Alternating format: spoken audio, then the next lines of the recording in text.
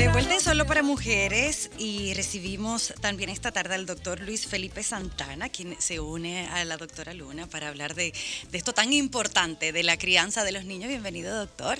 Gracias. Cambian los tiempos, eh, cambia también la educación no es como que uno dice, no, a mí me educaron muy bien. Mis padres me inculcaron un montón de valores. A mis hijos yo lo voy a hacer tal cual como lo hicieron mis padres conmigo. ¿Está bien? ¿Es correcto o tenemos que modernizarnos?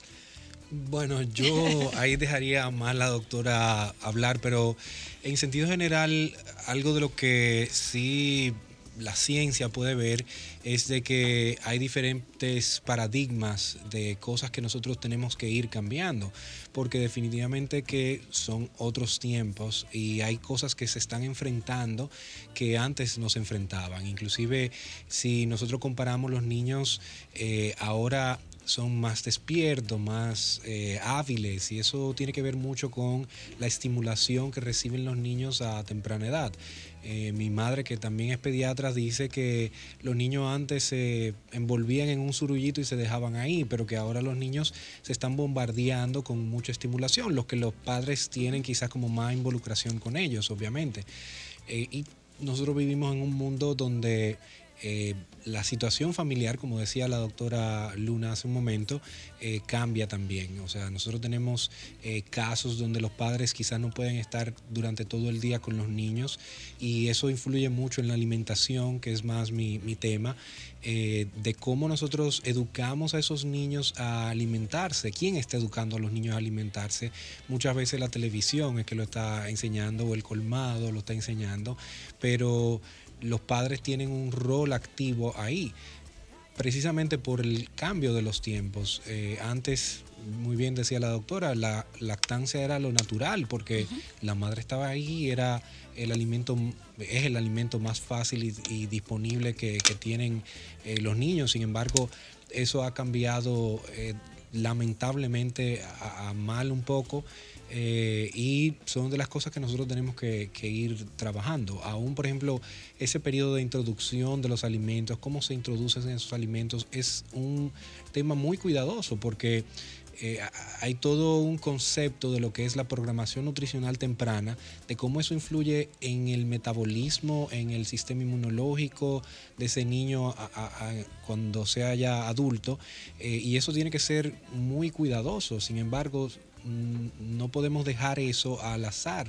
O sea, si se, eso se queda a que sea otra persona que decida lo que los niños van a comer, o otra persona que se ocupe de que los niños realmente coman, entonces vamos a tener, eh, digamos, diferencias ahí eh, entre un niño y otro, porque definitivamente que este tipo de cosas influyen bastante. Ahora que menciona usted, doctor, perdón, el, cómo se introducen los alimentos a los niños, yo he visto de eh, muchos casos de, madres que cuando el niño va a casa de la tía, de la prima o del amiguito, y dice, ah, comió, ¿y qué comió? Ah, se comió una pasta, pero ese niño no come pasta, ¿cómo que? Pero sí, se comió dos platos. Entonces, ¿Se podría decir que afecta a la madre también en, limitar los alimentos o, que el niño en un momento dijo a mí no me gustó o no me lo comí y no se lo dan más nunca y se crean unos adultos que nada más comen arroz con habichuela?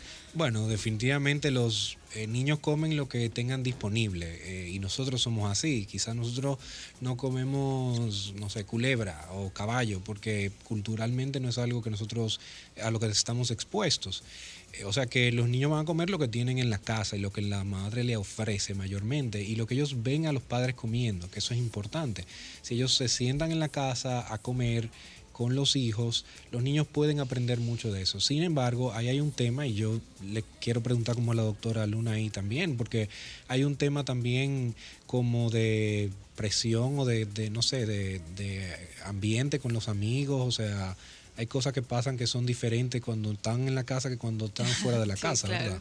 Sí, sin duda que los niños se, se, comportan diferente, sobre todo en el aspecto de la comida, eh, porque las madres eh, eh, eh provocan mucha mucha tensión en los niños para que coman. Hay algunos niños que son muy melindrosos y entonces ellos refuerzan esa, esa, esa condición Y eh, cuando los niños salen de ese eh, ambiente en donde están muy presionados, donde incluso hasta se les puede golpear por comer y van a un ambiente donde están más relajados y están compartiendo con otros niños y ve lo que los niños hacen y el ambiente es mucho más eh, fluido, ellos pueden hacer experimentar muchísimo mejor con la comida. Entonces, justamente nosotros entendemos como pediatra y, y Luis Felipe es nutriólogo, eh, la necesidad de dar informaciones respecto a la nutrición, sobre todo en los primeros meses.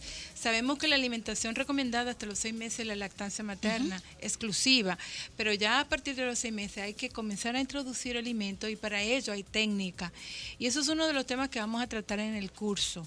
Cómo hacer el paso de la, de la alimentación, de la lactancia materna a la introducción de la dieta familiar. Entonces eso es un proceso que muchas veces los papás no conocen o que a veces los pediatras no dan toda la información que requiere para que eh, los papás puedan eh, llevar a cabo la técnica. Una pregunta, doctora, sobre para, para ambos, sobre todo ese tema que es como tan caótico a veces. El tema de la comida, los que a veces le dan muy poco y los que le dan demasiado, porque imagínate, si tú le das el seno, él no se llena, entonces hay que darle un poco de fórmula, porque entonces él se pasa la noche entera eh, llorando y el seno no alimenta. Los niños que si están muy flaquitos están denutridos, hay que estar gordito y macizo para que sean niños saludables.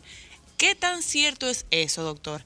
El alimentar bien o no a un niño y el sobrealimentarlos. Porque que si no está buchu, no está sano. No, no, eso no es un niño está muy flaco? no, no, tiene que estar como un paquetico, un trinquecito. Hay, hay dos temas. Uno, tenemos que saber que hay un tipo de grasa en el niño lactante que no es eh, dañino. O sea, que es una grasa que es saludable porque él viene de un ambiente donde no tiene grasa, o sea, un estado donde no tiene prácticamente grasa, y empieza a eh, tomar cierta grasa que le va a ser útil a él para poder conservar el calor, para poder eh, aguantar ciertos golpes.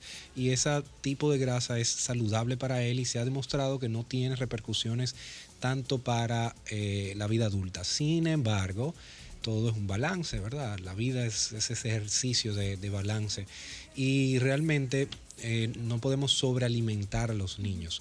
Los niños en los primeros meses deben comer a demanda, o sea, deben comer cada vez que lo necesitan, pero sobre todo del seno, del materno, seno materno a demanda, eh, pero eh, debe tener chequeos, aunque el niño esté sano, por su pediatra tiene que tener chequeos de niños sanos. El, pediatra debe estarlo eh, evaluando, porque también hay madres que sobrealimentan a los niños, porque no cada vez que el niño llora es por hambre.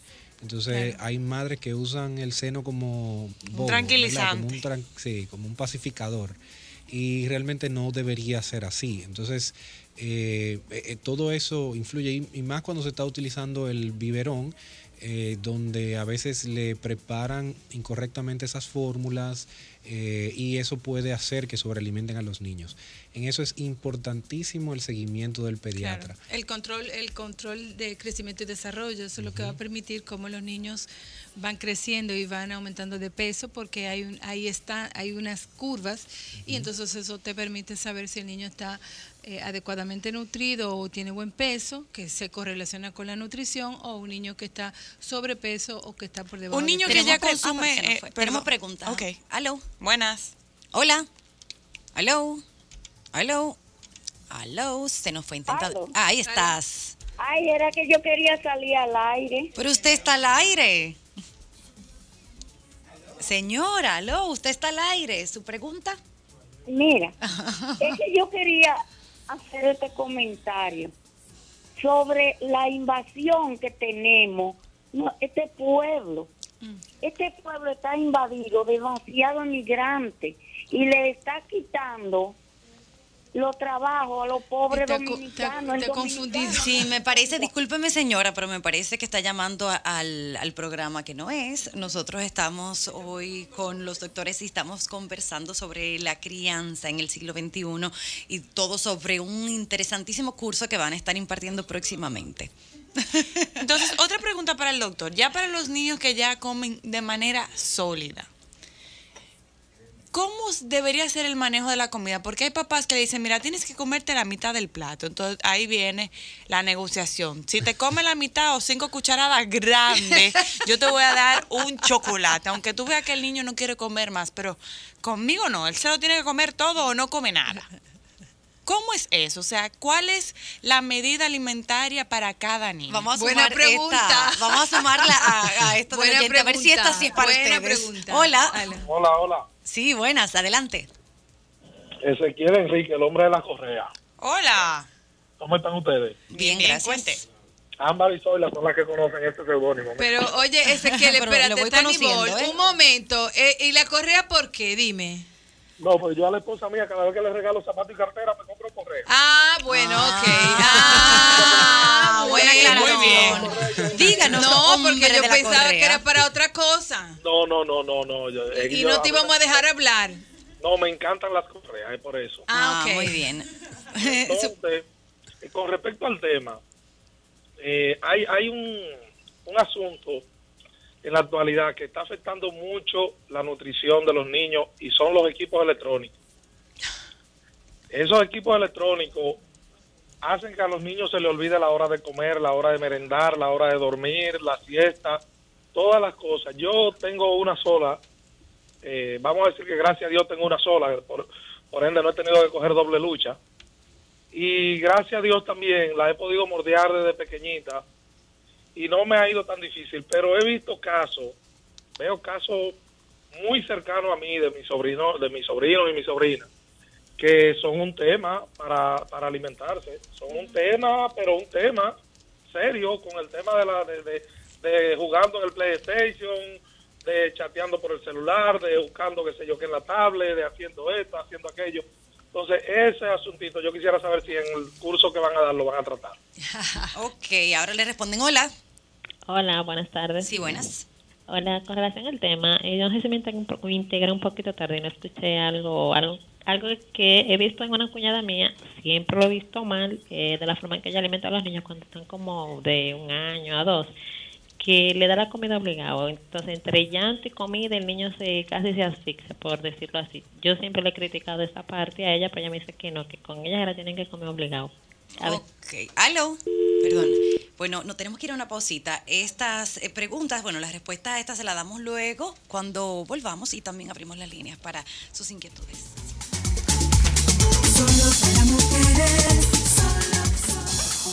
De regreso en Solo para Mujeres, hoy con la compañía del doctor Luis Felipe Santana y de la casa, la doctora Josefina Luna, estamos hablando todo lo relacionado con la educación de, de los niños de ahora. De los de ahora, De los sí, de ahora. sí. Y bueno, antes de que, de que nos den toda la información de ese interesante curso, eh, vamos a responder las preguntitas que estaban pendientes. Estaba la de Ámbar, de toda esta negociación mientras se está alimentando a los niños. Que si te comes tres cucharaditas, te doy un helado o un chocolate. Yo, yo creo que es difícil cuando uno condiciona a los niños con el tema de la alimentación. Eh, pero a la vez yo creo que también tenemos que entender cada niño y cada etapa donde el niño está, porque los niños cuando se empiezan a introducir alimentos no tienen desarrollado el sistema del gusto, ¿verdad? Los, los, es, la, los- La preferencia la por los preferencia alimentos, por sí. los alimentos, ni ellos pueden discernir bien lo que están eh, comiendo. Entonces, ellos pueden comer muchas cosas, pero luego van a ir discerniendo y van a decir qué cosas les gusta y qué cosas no. Y eso hay que eh, conocer a los niños para no eh, forzarlos demasiado. Hay cosas que tenemos que tratar de insistir, porque los niños deben comer fruta, deben comer vegetales, y eso no es un asunto de preferencia, de que bueno, que él nada más le gustan los chicharrones.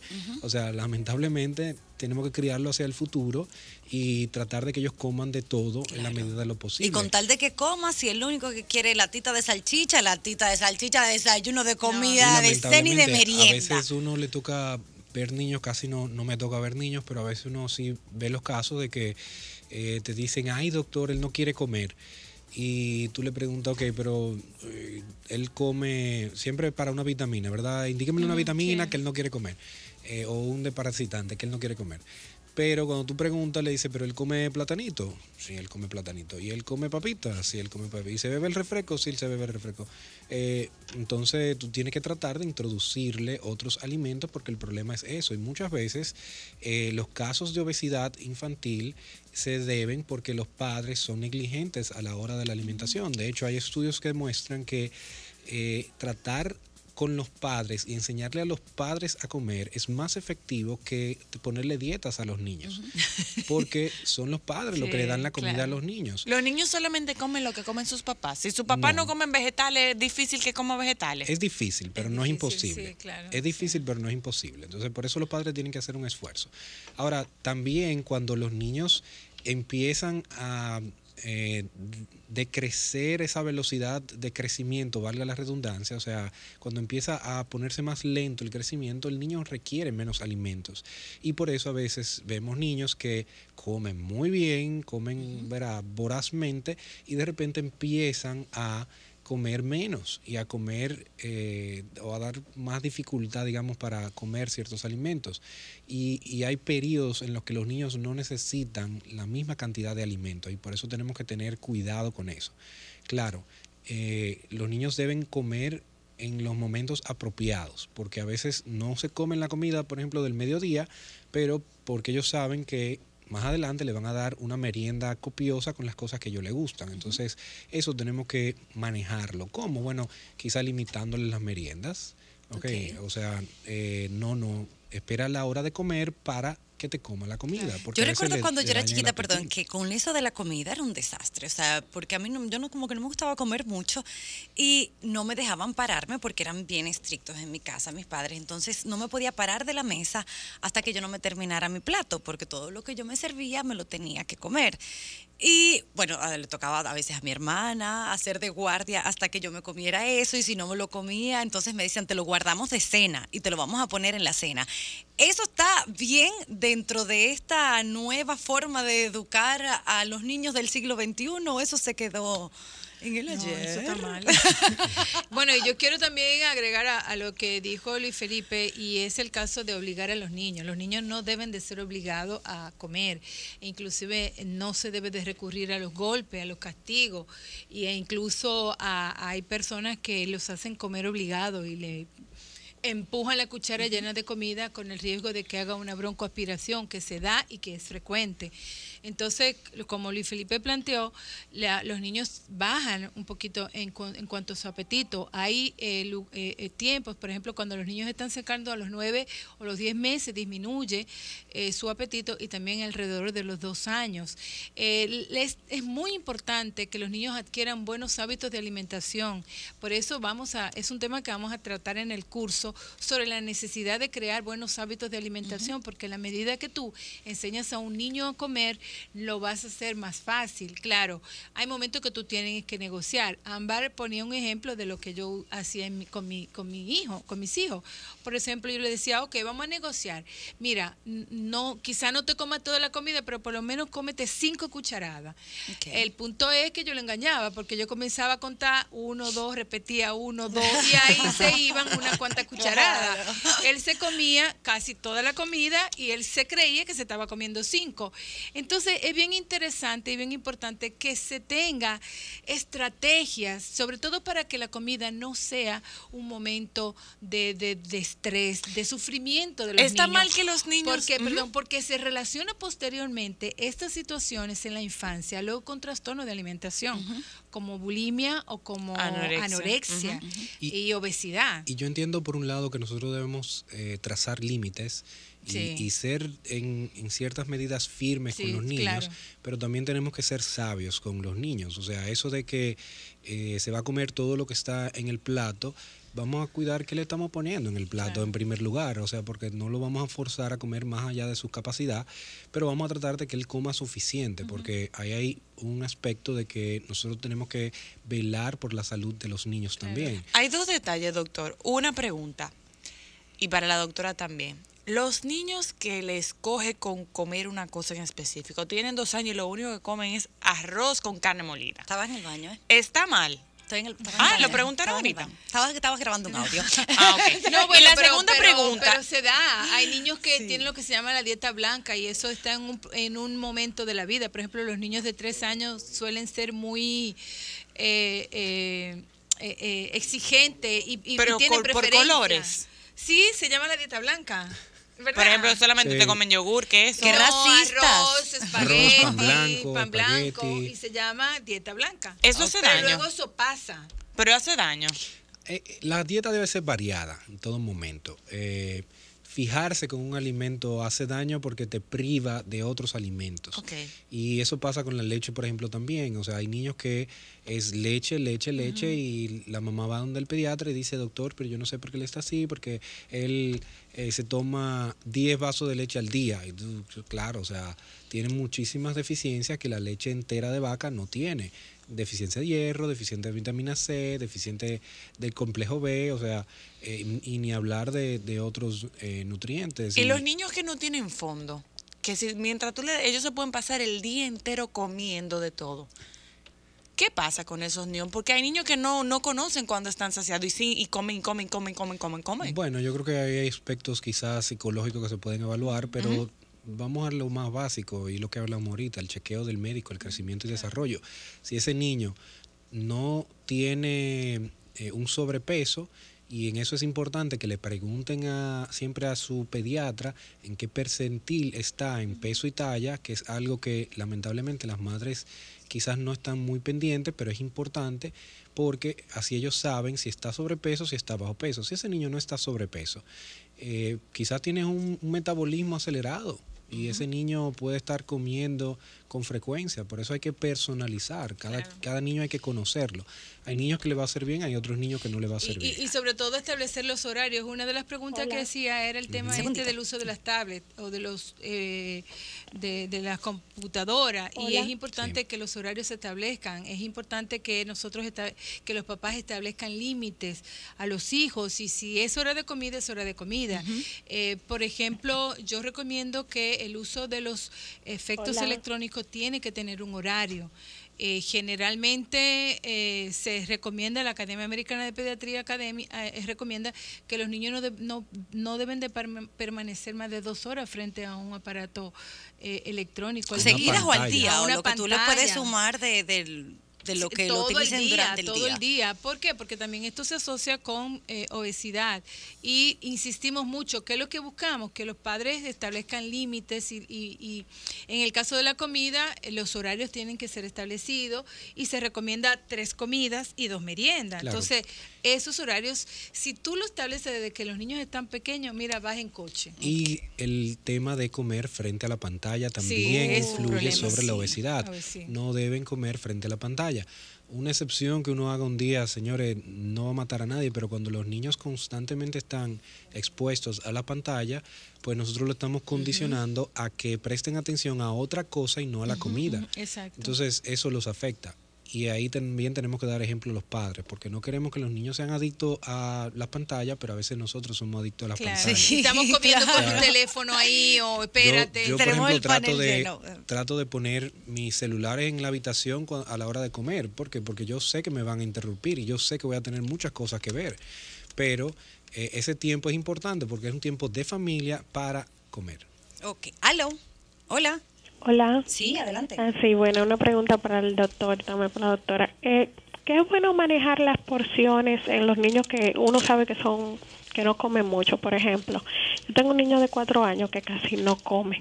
Entonces, si yo sé que le doy cinco cucharadas de arroz con habichuela, ya no lo fuño más. O sea, ya no lo molesto más, porque así eso. me quitó la presión de que no come.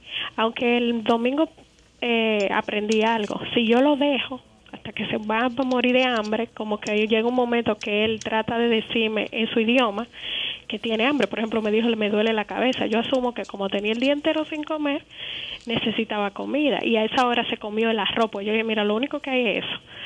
Entonces él me dijo que se lo diera blanco. Pero a mí lo que me preocupa es, a veces yo digo, ay, ya se comió cinco cucharadas, ya no voy a fuñir más. ¿Está bien eso? ¿Qué edad tiene el niño, perdón? Cuatro años. Cuatro y otra años. pregunta es, ¿la leche de soya tiene tantos nutrientes que necesita un niño de cuatro años que se bebe mm, tres vasos de leche al día o me tengo que preocupar por darle otro nutriente que debería de tener esa leche. Ok, gracias. Hello. Hello. Buenas. Sí, buenas, adelante. Eh, yo quiero hacerle una pregunta. Un poquito más alto, por favor. Eh, una pregunta para la doctora. Ajá. Eh, yo tengo una niña de 8 años, entonces ella es gordita, pero ella tiene un problema con la comida, que ella mientras más come, más hambre le da. Entonces ella de noche hasta se sueña comiendo comida y se quiere comer las manos. Oh, santo. Ok, gracias. Hello.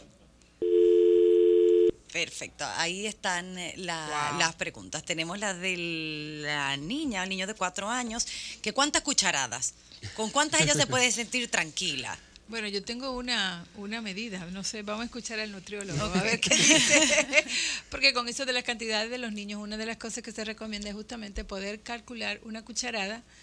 eh, Pero de- que cu- sopera. Sí, por cada año O de tipo edad de caldero, cada uno de los de cada uno de los eh, eh, Pero eso elementos, para, ¿eh? Porque eh, si yo me como toda la de mi edad. Espérate, no, de los la niños, por obesidad. supuesto que no, los niños. Por ejemplo, en este caso de esta señora que está hablando de un niño de cuatro años, es para tener una, una idea.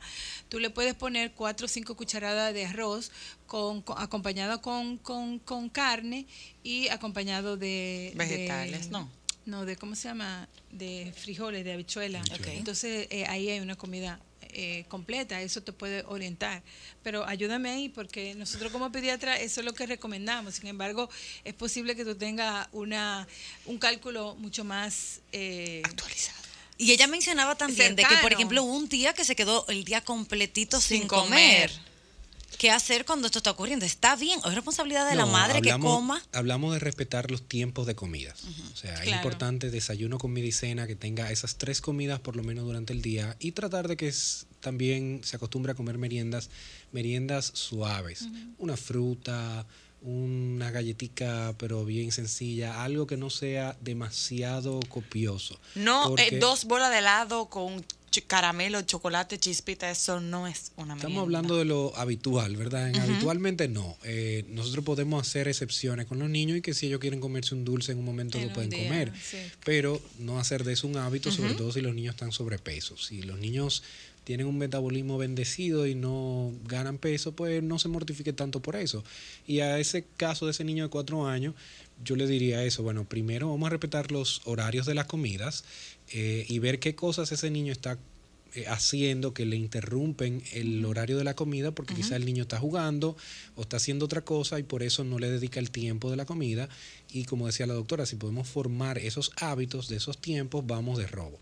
Pero también eh, tenemos que evaluar el crecimiento de ese niño. Si ese niño mantiene un crecimiento estable, o sea, que no cae en esa curva de crecimiento, ese niño puede ir comiendo de acuerdo a lo que es su edad. Hay niños que comen más que otros y, y no podemos mortificarnos ni llevar una línea eh, igual para todos. es un buen sí. estándar, como decía la doctora, eso, pero eh, no podemos eh, trazar lo mismo para todos y sobre todo cuando hay hermanitos en la casa. No todos comen de la misma manera. Entonces, eh, mira, tu hermanito se la comió todo y él eh, come esta cantidad, no podemos hacer lo mismo para el otro.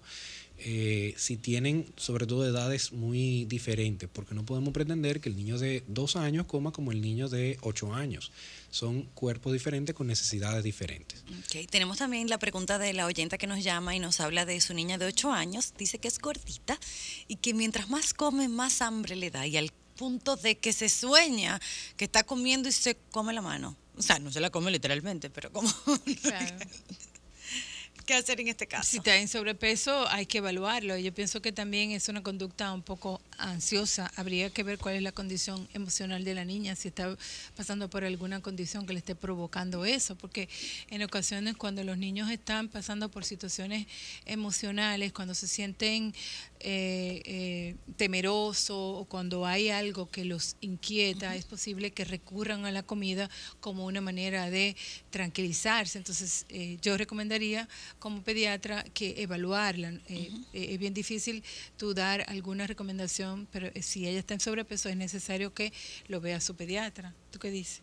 Sí, no, definitivamente. Y Eh, sería bueno em, eh, ir directamente al pediatra o a un psicólogo tal vez. No, no, eh, el pediatra es el médico que evalúa a los niños y él es el que debe de, de- de hacer un diagnóstico y luego de eso, pues, si requiere de intervención de otro especialista o de otro eh, eh, profesional, es el pediatra quien tiene que hacer la- el referimiento. Lo que pasa es que nosotros en muchas ocasiones nos volamos y el médico que debe de dar seguimiento a los niños necesariamente tiene que ser el pediatra. Y siempre es recomendable que los padres, que los niños tengan un pediatra de cabecera, un médico de cabecera que le, le siga, como hemos estado hablando, eh, su crecimiento y desarrollo y que en un momento dado cuando el niño tenga una conducta que le llama la atención a la mamá pueda con mucha confianza ir al pediatra y dice, sabes que mira, yo te, la niña está en este y estas condiciones y ya si es un médico que conoce a la niña todo su desarrollo, con muchísima más facilidad puede hacer un diagnóstico más preciso.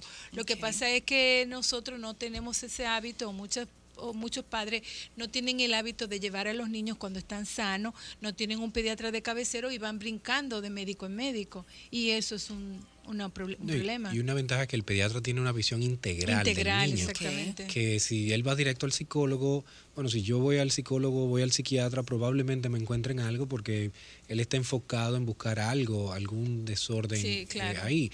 Eh, pero el pediatra tiene esa visión como más integral y puede decir, mira, hay un problema nutricional o hay un problema psicológico y puede orientarlo mejor y referirlo si es necesario. Bueno, hay muchas eh, preguntas que se nos quedan en el panel, pero para todas esas personas que tienen todas esas inquietudes, yo creo que es ideal ir al curso que ustedes van a estar impartiendo, Así ¿no? es. Claro. Sí. Cuéntanos un poquito de, de todo lo que va a estar ocurriendo en la crianza en el siglo XXI. Bueno, mira, es un curso que vamos a ofrecer el 25 de marzo de, och- de, 9, de, la, de 9 a 2 de la tarde en la Universidad Católica Santo Domingo. Es un curso que estamos, eh, que organizamos con un grupo de colegas, eh, sobre todo pediatras, con la idea de ofrecer a los padres justamente informaciones y educaciones que tengan que ver con mejorar la crianza de sus hijos. Ya Luis Felipe estaba hablando de que los niños hoy día son diferentes. Eh, antes escuchábamos que los niños nacían con los ojos cerrados, ahora nacen con los ojos abiertos y con la cabeza moviéndola. Antes los niños nacían así todo pero tiene que ver con la estimulación, la alimentación. Y este curso está diseñado justamente para padres de niños pequeños porque lo que buscamos es llevar a los padres informaciones con validez científica y actuales que les apoyen en la crianza. Por ejemplo, en los últimos años ha habido mucho descubrimiento de cómo se va desarrollando, los- cómo se desarrolla el cerebro de los niños, eh, las ventanas de oportunidades que existen eh, en el crecimiento cerebral, la importancia de la alimentación, de una muy buena nutrición y sobre todo la importancia de que los niños tengan experiencias que los estimulen en su desarrollo. Y eh, hemos congregado a un grupo de amigos eh, y, y pediatras y profesionales de la, de- del área de infancia eh, y que van a abordar diferentes temas. Para eso... ¿eh? Sí, me gustaría eso, como ver un poco los temas para Sí, que las personas sepan todo lo que se va a Claro, tratar ahí y, y cómo a profundidad se va a tocar. Y son pues destacados eh, profesionales de la salud, por ejemplo el doctor Luis Alan Lora, pasado presidente de la Sociedad de Pediatría y presidente de la Sociedad de Vacunología, va a hablar de el arte de la crianza en el siglo XXI. La licenciada Isabela de la Paz acerca de la importancia de los primeros años de la vida. La doctora Claudia Scharf eh, en prevención de accidentes, de un tema que ella ha tratado por diversos medios y que ha hecho tanto énfasis, tiene como esa campaña sí. de tratar una de las causas de eh, afecciones más importantes en los niños por encima aún de muchas enfermedades, eh, que es el- los accidentes y que son prevenibles. El doctor Juan Carlos Toral hablando de la importancia de fomentar la lectura en los niños. Resulta que más de la mitad de los niños en nuestro país están en la pobreza y no tienen acceso a educación formal por debajo de los cinco años. Y eso es un tema porque eh, esos niños no son estimulados adecuadamente y no se les fomenta ese hábito de lectura. Eh, el doctor Marcos Díaz Guillén hablando de sueño seguro, cómo y cuándo dormir. la licenciada Margarita Heinzen hablando de niños seguros de sí, la doctora Josefina Luna hablando de la sexualidad infantil y tocando un poco de muchos tabúes y mitos que se tienen en cuanto a el tema de cómo abordar la sexualidad con los niños.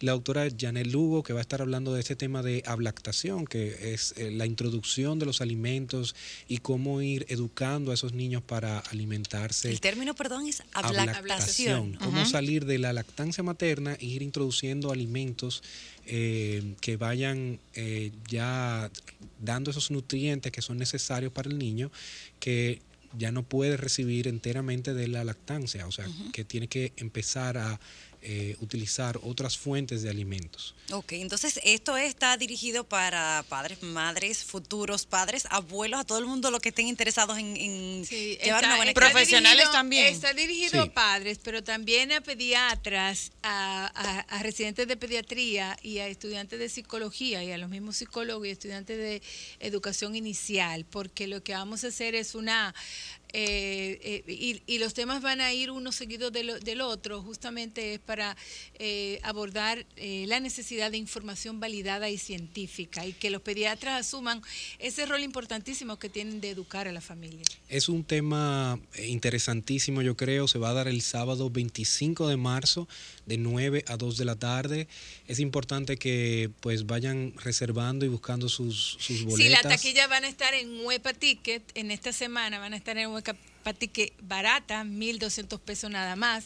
Para 1.200 pesos vamos a tener ocho figuras, ocho profesionales de primera talla de alto nivel eh, para los padres. Así que les invitamos a que estén pendientes. El evento es patrocinado por Milex Kinder Gold. También les recomendamos que estén atentos a sus redes sociales porque pueden venir cosas interesantes por ahí para que los padres puedan aprovechar y asistir al curso, que definitivamente es una, una ganga. bueno, completísimo e interesantísimo. La crianza en el siglo XXI, eso es el sábado 25 de marzo, de 9 a 2 de la tarde, en el auditorio de la Universidad Católica de Santo Domingo, en Huepa Tickets para sus entradas. Muchísimas gracias, doctor. La doctora Luna sigue con nosotros. Yo me quedo. Ok.